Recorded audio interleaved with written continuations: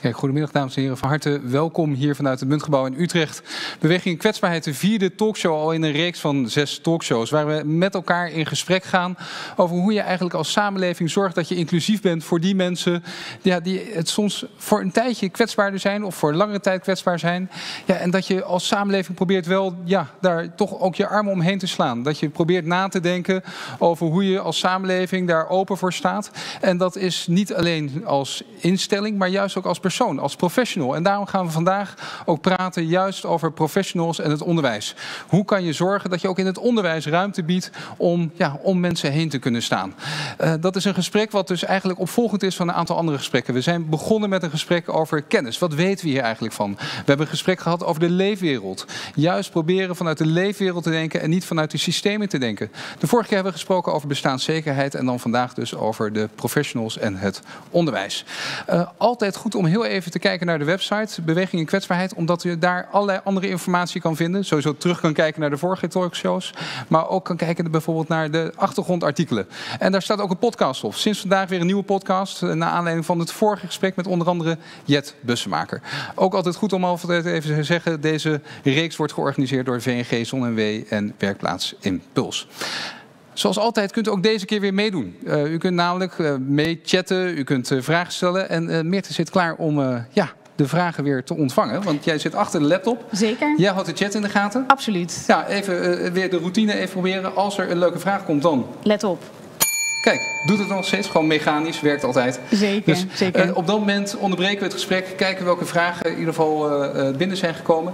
En mensen kunnen dat ook doen via Slido, volgens mij. Zeker, je kan dat, uh, dat, dat staat als het goed is nu open op hun scherm. Maar het zou ook heel goed kunnen als je gewoon naar slido.com gaat. Dan kun je met de code hashtag 596270 kun je daar in deze show inloggen. En dan kun je op je mobiel kun je lekker uh, de vragen bijhouden of zelf iets typen. En op je laptop bijvoorbeeld uh, de show kijken. Kijk, helemaal goed. Ja, mooi. Je noemt het als show zelfs. Dat is, uh, ja, het is ook een talkshow. het is, is natuurlijk ook, ja. Maar tegelijkertijd zijn het hele goede gesprekken. En ik heb weer een aantal mensen aan tafel zitten waar we mee gaan beginnen. Heel nou, veel zin veel in.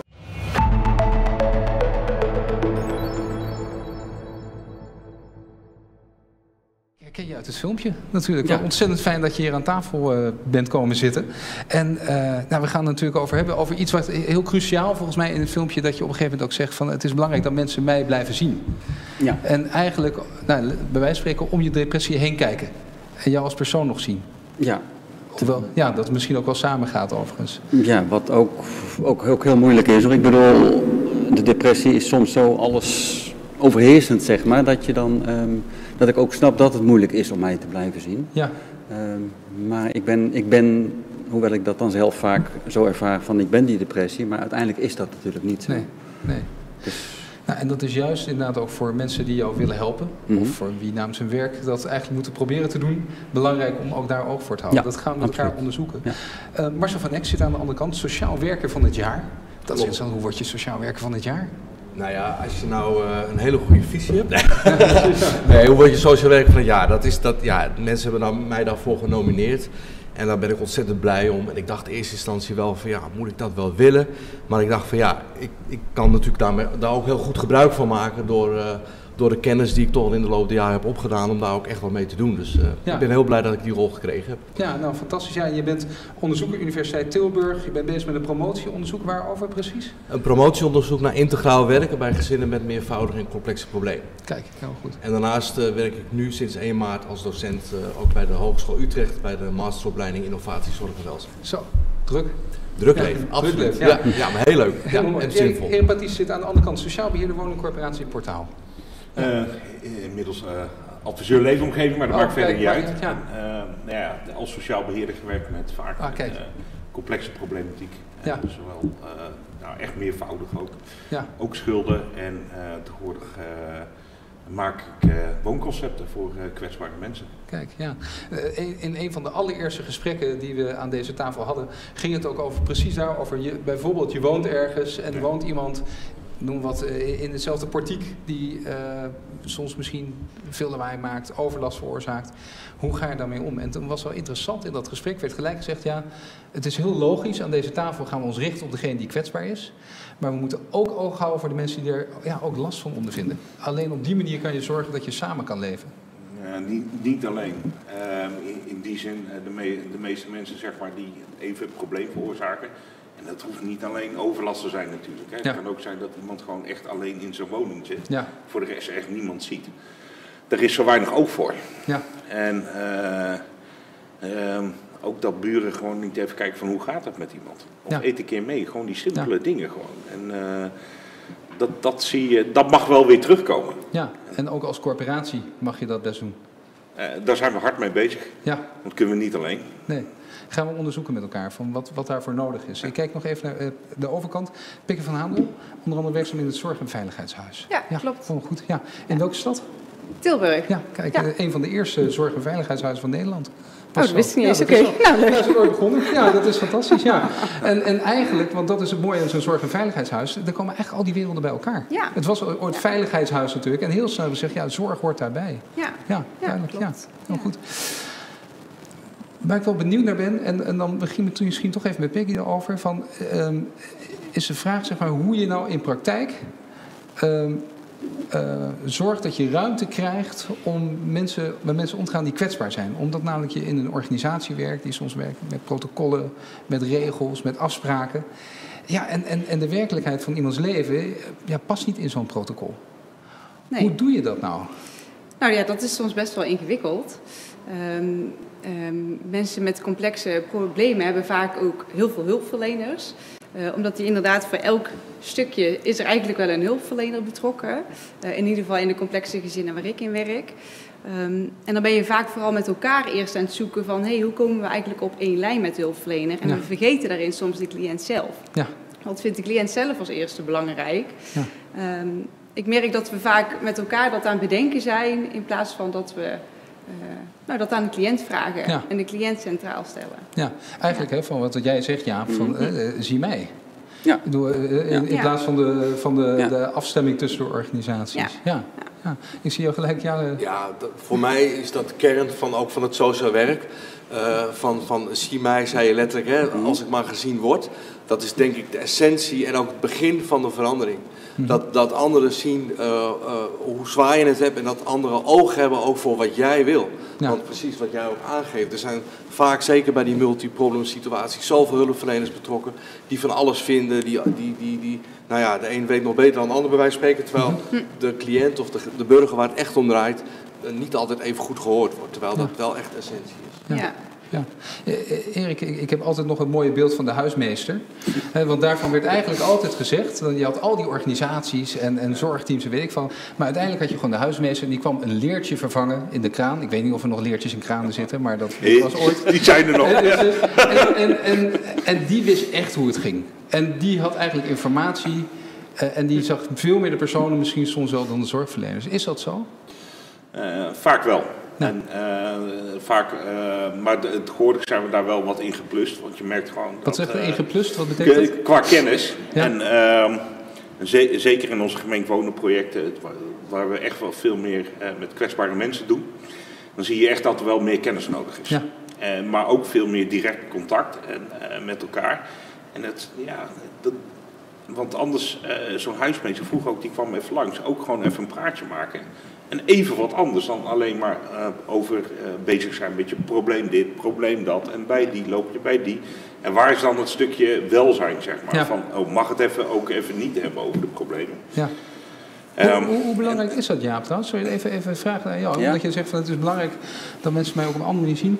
Eh, ehm, is het voor jou ook belangrijk dat mensen ook eh, juist ook de persoon zonder depressie zien? Ja, zeker, absoluut. Eh, Ik bedoel, met mijn mensen, de mensen om me heen, eh, zowel familie als, als vrienden, is dat sowieso. Ja.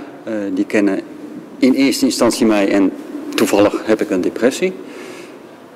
Waarbij die depressie soms heel erg overheerst, maar in andere periodes Ja. is dat veel meer naar de achtergrond en merken anderen het amper of niet. Dus dan zien ze sowieso mij. Ja. Ehm, ik zat me alleen. Ik, ik hoorde twee dingen. Eh, Ja. Jullie hadden het over kwetsbare mensen. En toen dacht ik opeens van hé, maar daar val ik ook onder. Ah, Heb ik me nooit onder geschaard. Ah. ja. Dat is precies dat waar het voor mij over gaat. Van ja, ik ben gewoon Jaap. Ja, ja. Dat is wel interessant. we Ja. hebben in, in, in- volgens mij het tweede gesprek was eh, de, de ombudsman van eh, Amsterdam en omstreken, eh, Mhm. althans voormalig ombudsman is nu weg. Eh, en die, die gaf ook aan, zeg, die kwetsbaarheid is soms eerder in relatie tot instellingen, zoals die hier zitten. Ja. Terwijl die personen soms superkrachtig zijn. En dat het dus eh, het thema kwetsbaarheid soms juist veel meer gaat over hoe verhoud je je tot de overheid. Dus je zegt gelijk ja. Dat is, Ja, we, ik, ik, wij verdrinken soms in het denken in hoe kunnen we jou of Mhm. een eh, andere cliënt helpen. Eh, en daarmee zetten we de cliënt meer, niet meer centraal, maar kijken we ook niet meer naar de mens. We zijn Nee. alleen maar met elkaar, soms zelfs een beetje aan het stoeien, wat het belangrijkste is en welk probleem wij vinden dat als eerste. ja. eh, we maken onszelf als hulpverlener soms veel belangrijker dan, eh, dan nodig. Ja. Ja, Nou ja, ja. tegelijkertijd ben je natuurlijk als hulpverlener ben je ook belangrijk. Eh, jullie hebben een belangrijke rol. Ehm, ja maar waar Ja. ik ook nog op Nee, doel... Maak even af. Ja, sorry. Een belangrijke rol. ja, ik, ik, ik, ik kreeg mijn zin eigenlijk niet meer verder. Even af. Nee, wat je zei, dat je hoorde twee dingen. En je zei eentje was die kwetsbaarheid. Had je nog eentje? Weet je hem nog? Oeh, die had ik natuurlijk meteen moeten Maakt niet zeggen. uit. Vaak komt hij later weer terug. Ik denk dat hij zo meteen nog Ja. terugkomt. Maar eh. Wat, wat even gedaan, we gaan eens even kijken, luisteren naar een fragment van Arian. Ik had Arian had ik in eh, ook een van de eerdere gesprekken. En ik vond het mooi, dat sluit hier heel mooi bij aan. Want die Oké. ook aan, waar, waar word ik nou het meeste mee geholpen in de praktijk? Laten we even, even luisteren en kijken naar Arian.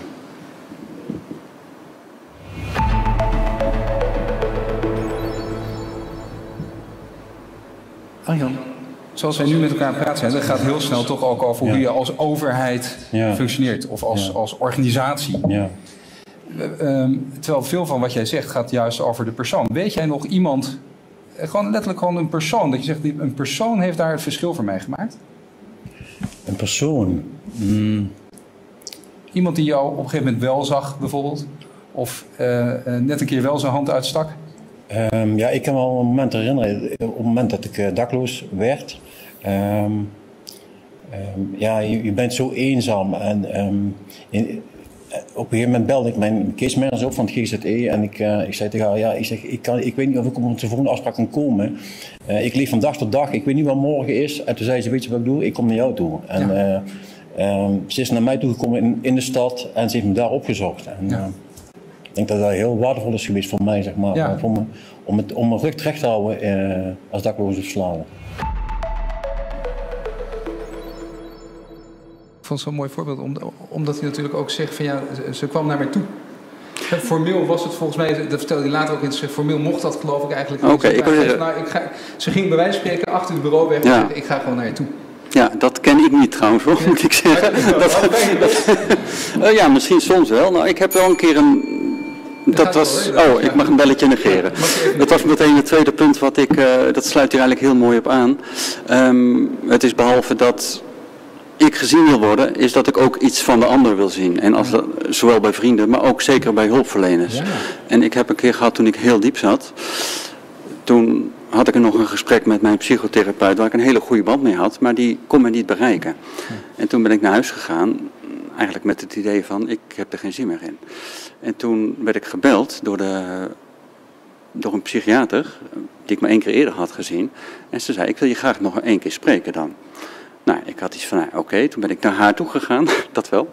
Ehm, maar toen liet ze ook een stukje van zichzelf zien. Ja, ja. En daardoor wist ze mij te bereiken. ja. En dat hielp op dat moment ontzettend. Hoe- Herken je dat Marcel? Hoe belangrijk het is ook zelf als professional ja, gewoon iets een beetje in je ziel laten kijken?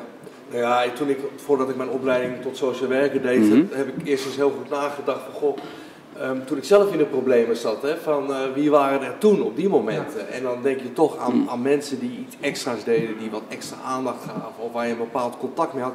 En dat contact moet ook wederkerig zijn, dat moet van twee Ja. kanten zijn, wat jij ook zegt. Precies. Want dan heb je het over echt contact. En ik denk dat echt contact maken de basis is van, van veranderen, hè, van, van Ja. verandering op gang brengen. Maar het is niet alleen dat, denk ik. Het is ook behoefte aan regie hebben over je eigen leven. Ja. Want dat hoor ik je ook zeggen. Want jij zegt op een gegeven moment ook van... eh, ik, ik wil eigenlijk helemaal geen medicijn. Het is dat ik weet dat het goed voor me is. Mhm. En daarmee geef je ook aan van... eh, contact is belangrijk, maar ook wel dat ik zeggenschap heb over Ja. mijn eigen behandeling. Ja. Over, over wat er gaat gebeuren met mij. Ja. En dat is denk ik ook heel cruciaal. Ja. Ja. Maar ik denk dat een vorm van, van zeggenschap of eigenaarschap ook zit op het moment dat ik contact met jou heb. Precies. Dan, dan, dan, dan, dan hebben we een gesprek met elkaar en dan kan ik ook zeggen wat ik wil. Althans, dat, dat schat ik in. Ja. Eh, eh, Dit is wel een moment voor belletje. Meerte. Ja. Ja, de- nou, ten eerste is er een eh, hele interessante opmerking van Karin Wilsens. Die zegt contact op basis van gelijkwaardigheid. Ja. Wat natuurlijk heel erg aansluit bij waar jullie het al over hebben aan tafel. En dan is er ook nog een vraag. En die is eigenlijk vooral heel erg gericht op de professionals zelf. Voel je je als hulpverlener voldoende toegerust om het verschil te maken? En ik ben eigenlijk wel heel erg benieuwd naar eh, wat de mensen aan tafel daarover te zeggen hebben. Ja, goed. Ja. Eh, Erik, mag dat aan jou vragen? Ehm, nou, je moet je wel dingen eigen maken, want officieel ben ik geen hulpverlener, maar het heeft wel ja, raakvlakken met de mensen met wie ik werk. En eh, ja, ik denk gewoon, je moet gewoon ruimte pakken om te doen wat goed en nodig is. Dus dat is een beetje mijn instelling. Ja. En, eh, maar soms hebben wij ook wel van, oké, dit is zo complex en eh, eigenlijk zijn we daar niet meer toe uitgerust. Ja, En, maar dat, dat- ook belangrijk om te weten. Wat Ja. je niet kan.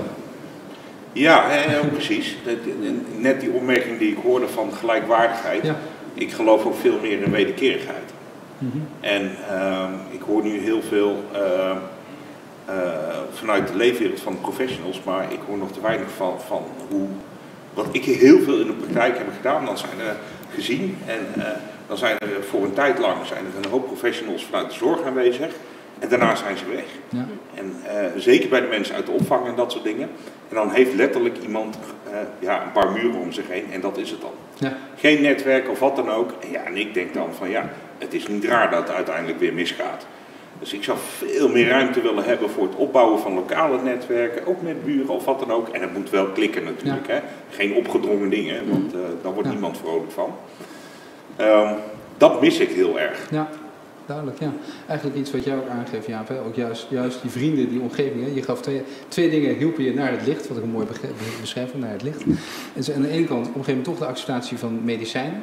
Dat is wel. En het andere, die mensen om me heen. Ja, De mensen die mij hielpen, hè, dat zijn eigenlijk die mensen. Zijn dat ook mensen die ook, ook door, de, door de professionals werden gezien? Had je het idee, was daar een connectie tussen? Of zei je van ja, je had een, een wereld van professionals en je had mijn vrienden, zeg maar. Eh, nou, op het laatst zijn ze een beetje bij elkaar gekomen. Toen mijn vriendin was overleden, toen ging het eerst nog een jaar goed. En op een gegeven moment ging het, nou ja, niet goed. Ging het gewoon slecht. En toen eh, kwam er een moment, toen had ik een hele goede POH GGZ. Ehm, en zij... ehm, nou, ze- zij had al eens geopperd om, om medicatie te gebruiken. Toen kwam er een moment dat ik denk van ja, maar zo, ik moet iets. Ja. Dus toen heb ik haar gebeld en met haar overlegd en met de huisarts ook. Van, om en medicatie te doen en mijn netwerk in te schakelen. Om, ja, maar toen heb ik me de eerste, nou, een paar maanden heb ik me elke dag laten bellen op een vast tijdstip. Ja. Om even gewoon een praatje met iemand te hebben. Ja. Ja. En, en werkt dat dan inderdaad, zoals jij zegt, van de, de, de kracht, dat juist op het moment dat, dat die twee elkaar enorm kunnen gaan versterken, juist, juist die, want die professionals gaan een Mhm. keer weg. Ja. En dat dan juist doordat die, die vriendenkring, kenniskring, familie soms, dat die meegenomen zijn, dat dat uiteindelijk de bestendiging is, de, de lange termijn. Uiteindelijk is je eigen netwerk, familie, Ja. vrienden, wat dan ook, buren inderdaad. eh, Dat is volgens mij de, het, het bestendige inderdaad. Ja. Denk ik, hoe, hoe doen jullie dat vanuit het Zorg- en Veiligheidshuis? Eh, Ook actief zeg maar, die, die omgeving betrekken? Ja, ik vind dat we daar meer mogen doen. Dat is wat ik net ook bedoelde. Hè. We, we, we doen heel erg ons best om eh, iemand te helpen. Maar we vergeten dat het inderdaad eindig is en een financiering een keer afloopt. Ja. Dat wij stoppen. En dan, dan valt iemand eigenlijk alsnog in een gat. Eh, dus ik vind het heel belangrijk inderdaad dat het netwerk veel meer betrokken wordt. En als het nodig is, dat er samen met de cliënt gekeken wordt naar hoe organiseer ik dat ik een netwerk heb. Ja. Ehm, maar qua financieringsvormen, je, Ja. je bent als organisatie vaak wel verbonden aan ja, indicaties. klopt. Ja. Ehm, en dat maakt het soms heel erg lastig in de praktijk. 5, Ja. Volgende keer gaan we helemaal hebben over financiering. Ja, heel Want dat is, dat is, Mooi, dat is, ja. ja. En, dat Ja. is, en, het is eigenlijk zo gek, hè, want het zijn altijd supermenselijke gesprekken hier aan tafel. Ja. En toch, dat is, elke keer komt het weer op terug, omdat Ja. dat ja, toch een belangrijke Ja. sturing is, sturing Ja. echt is. Ja. Nou, het is de kunst om daar wel natuurlijk buiten te kijken en daar eigenlijk creatief mee om te gaan. Maar ja, in de hectiek van de dag is het soms ook, ja, biedt het ook een soort van koers of zo. En daar, ga je Ja. dan, daar vaar je dan op. Ja. Ja. Ja, Hoe lang doe je dit werk eigenlijk al? Oeh, eh, nou, een jaar of eh, 25 denk ik of zo. 25 jaar, Ja, precies, dus, ja. eh, zie, je- zie je nou een verandering? Ja. Merk, ja? Wat Ja. voor een dan?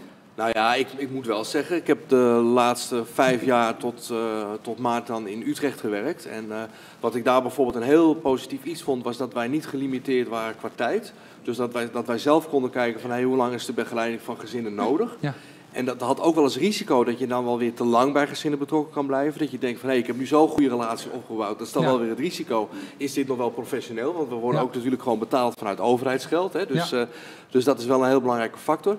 maar, sorry dat ik je ontbreng, maar tegelijkertijd als ik de afweging moet maken tussen te kort of te lang, dan zou ik toch altijd nou, voor te lang gaan, toch? Nou ja, dat, Helemaal met je eens, absoluut. Dus, dus ik vond het uiteindelijk een heel groot uh, voordeel en ook wel een nieuwe uitdaging van oké, okay, hoe gaan we als professional daar dan op een goede, ethisch verantwoorde manier mee om? Ja. Dus het levert ook wel weer een, een vraagstuk op, wat ook wel weer uh, uh, ja, aangeeft hoe complex het werk is. Ja. He, want, want wij moeten voortdurend allerlei ethische afwegingen maken. En uh, ja, dat, dat, maakt het dus ook wel heel complex. Je zit al in, ja. in, een heel complex veld met heel veel verschillende partijen. En dit is ook weer één zo'n dimensie, maar er zijn er heel veel waar je allemaal rekening mee moet houden. Ja. Dus het is uh, niet niks. Ja, e- Erik, zie jij, zie jij een ontwikkeling? Een, een, een, ook juist vanuit je rol bijvoorbeeld als corporatie? Uh, ja, we zien sowieso een ontwikkeling dat uh, we bijvoorbeeld beschermd thuis. Ja. Dus ook steeds meer weg uit de instelling. Nou, dat loopt al een paar, paar jaar natuurlijk. Ja. En daar nou ja, daar, daar, hebben we soms wel bedenkingen mee van doen we mensen daar wel, komen ze wel tot hun recht. Ja. Van aan de ene kant een instelling en dan gelijk helemaal zelfstandig. Dat is echt een grote stap. Dus nu zijn we veel meer projecten aan het maken om daar tussenin te zitten. Dat je wel die goede zorg dichtbij hebt wanneer je hem nodig ja. hebt. En dit direct is. Uh, en ook zo zelfstandig als mogelijk. Daar geloven ja. we wel in. Maar je merkt wel dat dat de zwaarte, letterlijk de zwaarte van de problematiek ja. toeneemt binnen, binnen het bezit. Ja. Ja, dat zeg je, de binnenbezit. En dat, dus binnen de, de, de, sociale woningen ja. merk je gewoon dat de zwaarte toeneemt. Dat ja. Is, ja. En dat vraagt dus ook veel van de mensen die bij jullie werken. Ja. Om daar ja, op tijd kun je signaleren, mee om te kunnen gaan. Ja, ja en soms zelfs dat we moeten zeggen van... ho, uh, dit kunnen we gewoon niet aan. Dit nee, kan nog een precies. reguliere wijk. En dan willen we, dan willen we best al met meedenken over andere oplossingen... en daarin meedenken. Ja. Maar er zitten wel grenzen aan. Ja, duidelijk. Uh, Mit, kijk even, wat gebeurt er in de chat?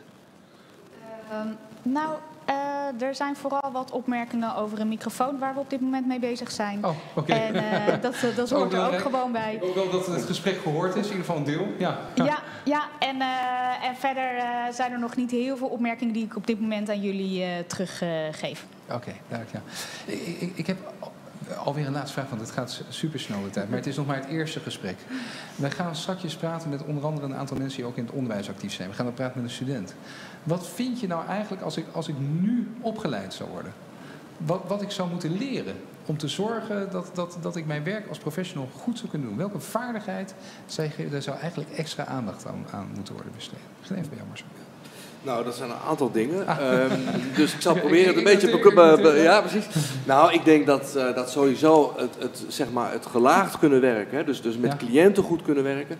Maar dat uh, professionals ook in staat zijn niet alleen om met cliënten te werken... maar ook op organisatieniveau en ook op het niveau van samenleven. Dat je ja. misstanden of, uh, of, of, dingen waarvan je zegt van... hé, hey, dit is echt een duidelijk signaal. Wij komen nu toch echt ja. heel veel tegen dat de huren te hoog zijn... en de inkomenslaag in een bepaalde wijk. Dat je daar ook verantwoordelijk voor voelt. Dus niet alleen maar met cliënten en, en ook op het niveau van, van bestuur, zeg maar. Ja, breed blijven kijken. Breed blijven kijken en ook heel belangrijk, denk ik, interprofessionele samenwerking. Ja, oké, okay, dat is? Uh, dat betekent uh, uh, collega's, professionals van verschillende organisaties die samenwerken.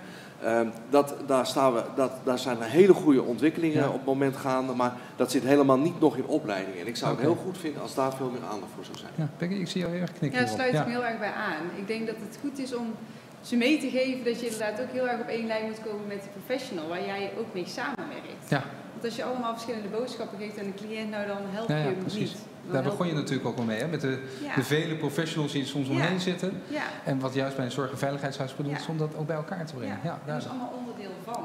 Dus ook dat netwerk wat ik net zei, maar ook de professionals, zorg dat je allemaal op één lijn zit en elkaar kent en begrijpt. Ja. Ja. Juist dit soort punten denk je, elke keer wordt dit gezegd, hè, maar hoe, hoe, doen we dit nou uiteindelijk? En daar moeten we ook nog verder uitzoeken hoor, deze middag. Maar toch Erik, wat, wat, waarvan zeg jij van dat, dat moet eigenlijk in die opleiding mee? Uh, sowieso. Uh, sommige mensen zijn heel streng in de privacy. Ja. En als je wil samenwerken met verschil, verschillende partijen, ja, dan Ja. zul je toch echt wel eh, goed moeten kunnen overleggen. Ja. En daar ook wel een stapje in kunnen zetten. Zeker als het noodzakelijk is. Maar echt dat oog voor de inbedding Ja. en het systeem. Ehm, en ehm, ook als iemand komt, er, ergens komt te wonen, eh, er wordt nu steeds meer aandacht besteed aan dagbesteding. Eh, maar heeft die persoon ook daar genoeg mogelijkheden om in die wijk om zichzelf te kunnen ontwikkelen? Ja. Zodat iemand niet op de lange termijn maar in de marges van de samenleving blijft hangen. Ja. Want als iemand maar gewoon echt alleen maar op bijstandsniveau blijft hangen, eh, vaak nog bijvoorbeeld naar een voedselbank moet, dat doet wat met, met Ja. je psyche. En als je daar niet mee aan de gang gaat, ja, dan Ja. gaat het nooit beter worden. Ja. Dat punt van privacy gaan we straks bespreken met Hans Versteeg. Zit straks aan de volgende tafel, is iemand bij de VNG. En die zegt eigenlijk die privacy, dat is onterecht, wordt dat vaak eh, van stal Ja. gehaald. Er kan veel meer. Ga- Gaan we straks aan, aan Hans vragen. Voordat ik bij jou tot slot kom, Jaap, even, ik hoor het belletje. Mirte. Voor dat belletje, omdat er inderdaad in de chat nu wordt gesproken juist over het netwerk. En Edwin van der Ende zegt onder andere dat stabiliteit op financieel gebied en behandeling is vaak voorliggend aan een netwerk. En Kelly Nederhof die, eh, heeft dan eigenlijk de vraag: wordt er eigenlijk ook aan gedacht om het welzijnswerk in te schakelen voor zowel tijdens als na het hulpverleningstraject, juist als partner in het netwerk van een persoon? Lijkt me ook een hele interessante overweging. Ja, ik, ik zie je daar ook knikken. Ja, eh, nou, meer zo'n projecten waar we meer aandacht voor hebben. Dan eh, eh, nou, worden heel veel activiteiten eh, georganiseerd. Ze kunnen, mensen kunnen zelf daarin wat doen. Dus krijg je ook die wederkerigheid. Ja. Ik vind welzijn ja, wordt nog te, te, te weinig gebruikt, zeg maar. Ja, duidelijk. Ja. Ja, tot slot, als jij nu met al jouw ervaring en, en, en ja, gewoon ook ja, al, al contacten die je hebt gehad, ze zegt, nou, als ik nou één advies zou mogen geven, hè, ik bedoel, al die mensen die nu luisteren, dat is allemaal hun werk. Die zegt, doe dit. Mag ook zeggen, doe dit nooit meer. Mag ook. Mag ook. Ehm, aandacht voor zingeving. En in welk opzicht? Eh, nou, ik heb verschillende keren therapieën gehad en er was Dat is een aantal jaar geleden was er altijd heel weinig aandacht voor wat is voor mij als cliënt eh, belangrijk. Ja. Dus echt de zingeving. Ja. En dan maakt het in wezen niet uit of je heel lang in de bijstand zit of WO. Dan nog gaat het voor mij, het zal niet Ja. voor iedereen zijn, gaat het wel om zingeving. Ja. Hoe kan ik zelf mijn leven zin geven? Ja, en dan eigenlijk soms misschien helemaal niet te praktisch, maar ook zingeving, echt gewoon letterlijk gewoon het mens zijn. Ja. Eh, eh, wat, wat is je leven? Ja. Ja, duidelijk. Ja. Dankjewel. Dank. Ik wil nog even deze laten zien. Had je hem zelf al gezien of niet? Ja, precies. Dit is toch, laat ik ook even voor de mensen thuis zien. Kijk, dit hier ook nog een keer. Ja, ik bedoel, je bent nu en in de film en op foto. Dit is fantastisch. Maar dit is nog even, daar wil ik toch aandacht voor vragen. We hebben ondertussen beginnen we een soort bibliotheek aan te richten voor deze talkshows ook. Dit is een prachtig boek eh, bij Zon en Wee nog op te vragen. Fantastische foto's, fantastisch verhaal. En hier sta jij ook in. Met volgens mij ook een fantastisch eh, stuk. Mag ik jullie heel erg danken voor eh, dit eh, eerste gesprek. Eh, en dat legt volgens mij een hele mooie bodem voor de gesprekken die we hierna nog gaan hebben. Dank jullie wel en heel veel succes. Dank je wel.